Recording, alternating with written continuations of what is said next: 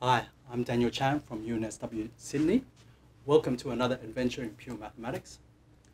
Today, I want to show you how the theory of modules is very useful when you want to consider not just one linear map, but several of them at the same time.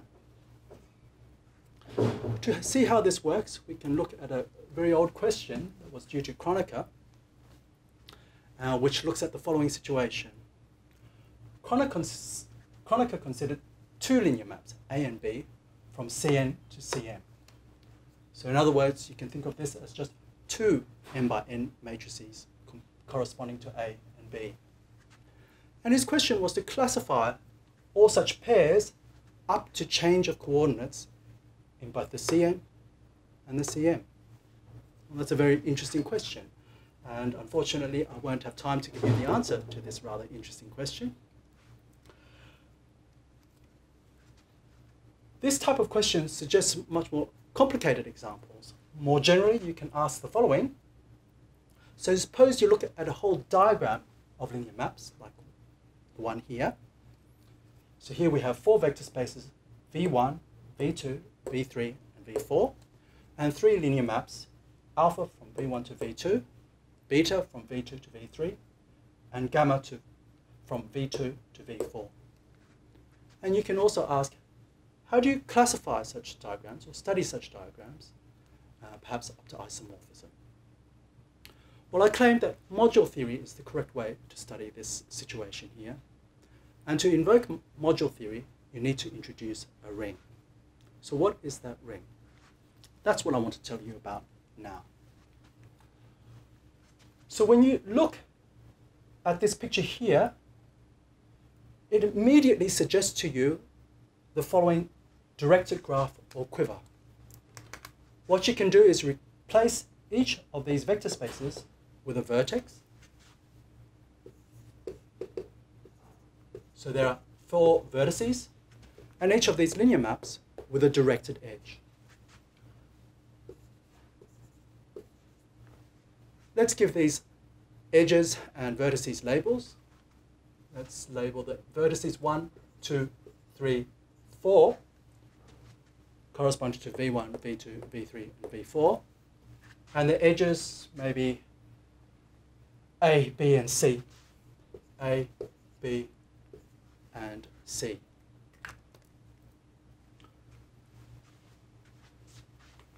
Now the point is that this graph gives you an algebra or a ring, and it's called the path algebra. And this path algebra is very important in the representation theory of finite dimensional algebras. Okay, so to, to find this path algebra, which we denote by CQ, I'll firstly define the vector space structure over C.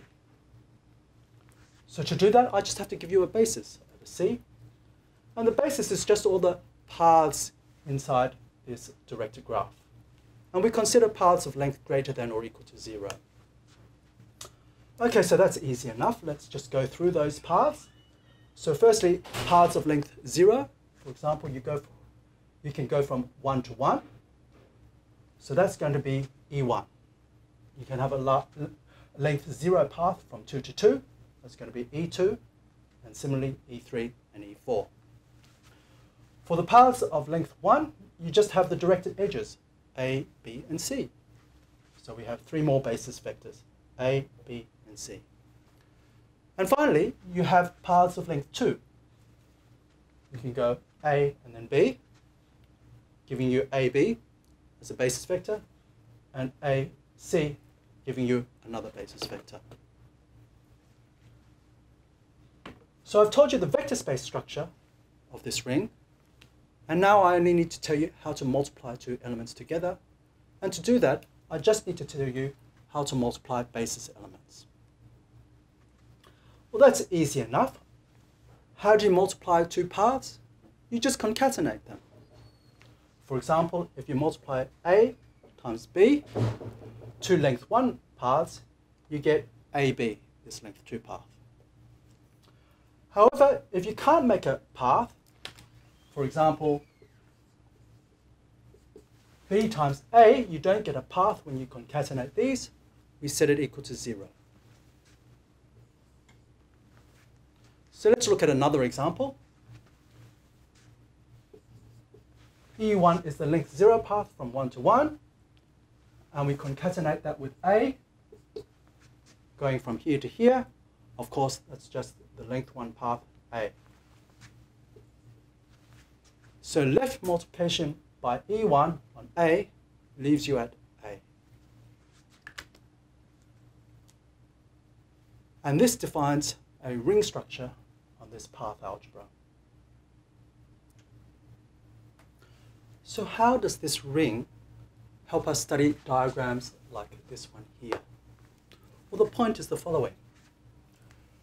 Diagrams such as this one here correspond precisely to right CQ modules. So how does that work? If you're given a diagram like this, what's the corresponding CQ module? Well, it's the following.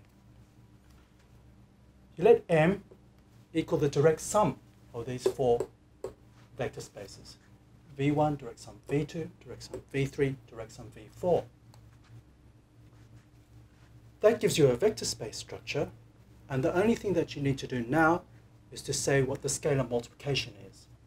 And the scalar multiplication is on the right, the way I've set it up.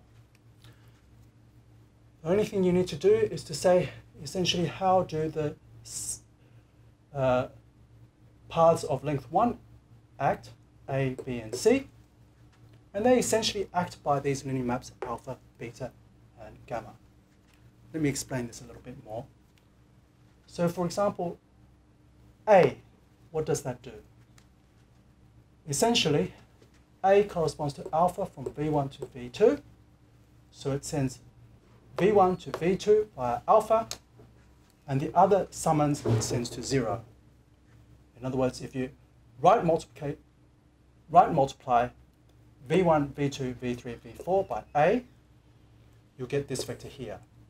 0, you can, can apply alpha to v1, and that lives in v2 here to get alpha of v1, and then you get 0 and 0 here. If you want to multiply by ab, then you multiply by a first using alpha, and then b using beta.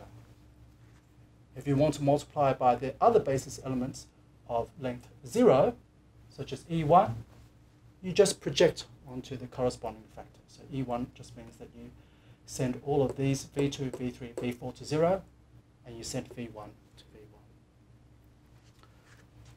So what we see here is that the study of these diagrams of linear maps, they correspond precisely to studying modules over a certain path algebra.